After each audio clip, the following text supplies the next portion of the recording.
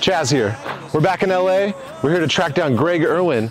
My man is the drummer for Saint Motel, which you may have heard of. He's also a shredder on the bike, an amazing photographer. And again, he told me to take like two lefts and a right and look for the van. So I'm way up here in the hills and I found the van. But in all seriousness, you do a ton of stuff. You ride bikes, you take photos, and more importantly, you're the drummer in a really sick band. Thanks, man. Yeah, I uh, tend to, to lean on the uh, busier side of life. The music thing has been a, a, the most important part of my life for the last 25 years. somehow I'm still able to do it. And yeah. every day I'm like, just like, whoa, that's still my job. Isn't that fun? someone pays someone me pays to, me to do this. Someone pays me to hit stuff with sticks. Like that's wild. So were you always a musician? It like started like from from childhood. This was something that you knew you were going to get into, or how did you how did you step into this? Yeah, man. I'm I, you know, my parents weren't musical per se, but my grandfather was a, a bagpiper. He was my they're all from my dad's side's all from Ireland, and like so I grew up around like this marching band and and and bagpipe music. And then when I was 12, it was a school band kids were like, "We're gonna try out for the band." I was like, "I can do that." Yeah. I don't know. Like, if I, I like hitting things. I don't know if I could, but I was like, "I can do that." And, and dude, here we are. Uh, you know, quite a few years later. you know, I remember that one day I was like, "I'm riding my bike a lot, man. Should I wear?"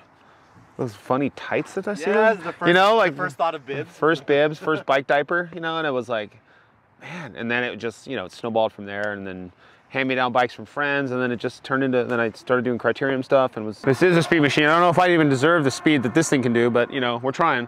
This is the new uh, S-Works Crux. Once the band, my band Saint Motel became busy enough where I wasn't able to like stay home and train and race, which was fine because that, the whole point was for me to yeah, be in this band. Like, band. Yeah, once that became a thing, I was like, uh, you know, man, if I ever get to ride in a tour bus one day, I swear I'm gonna take my bike. There's a motivation to stay healthier, and then there's the, also the side that just the mental capacity that, or the mental benefits of having my bike. It's like, man, because because that repetition every day for you know we've gone out for three months at a time before. Like it's a lot, especially to not be physically active for three months. Yeah. Plus, you get a ride. I mean, it, that's the whole thing with tour. You go to a different spot every day almost. That's it. So you get a ride in a different place almost every day. Dude, and you know how that is. Like, you know, you can ride a million. We we're here in LA. I can ride. You can ride a million different rides right now. San Francisco, any city you can ride. You know the routes. You know the places. But it's still but like, your hometown. Yeah, and every and you're like, ah, I don't. I know the routes. I'll go ride tomorrow. On tour, you're like, I only have the next four hours to discover this place. Yep. So you go do it, and it's always been always been a treat, man. Uh, Saint Motel Cycling Team, which is essentially me. Yeah but I will do meetups on the roads. Rock and roll and music needs to be like people need to know there is more balance to it, but like cycling also needs to be cooler. Yeah. So like there's like this like we need to find them. I was like, oh man, I mean I can show both, and like so like not every day or not every place, but like if I know I'm gonna have the time to do it, I'll like I'll shout shoot out like on Strava or um, whatever socials and be like, hey guys, meet at X venue at you know 10 o'clock at the tour bus door, and I'll be there. Yeah. And, and like ride. let's ride and and sometimes a couple people show up, sometimes 10 or 15 people show up, and like it just you, know, you never know. And it's just been, but that's been cool too, because that's so rad. I mean, that's literally the thing is like you get to bring the, the music and the bike and get people out to like go do stuff together and just be like, yo, check check me out. Like, let me check out where you're at. Like, yeah, and and that thing too is like. sometimes the people are fully aware of who I am or what the band is or fans. Some people it'll be like a fan and like a bunch of friends that have no idea. But then a lot of times they'll all come to the show that night yeah. and their minds are like, whoa, yeah, that's the guy we rode with. You don't stop a bullet when it's set into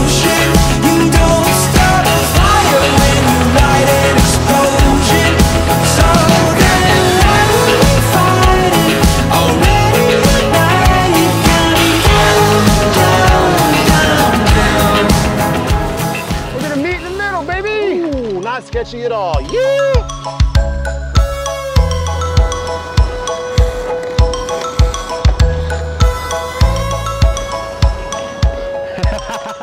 All right, we just saw another part of LA. We just went to the Thunderdome. Thunderdome. Yes, with my guy Greg. Um, be sure to check out Saint Motel's new album, the original motion picture soundtrack. Make sure to hit the buttons down there so you can see this again. You know, the thing with the subscribing to the likes and all that. And uh, we'll check you next time. Take it easy. Peace. You don't stop a bullet when you set into motion.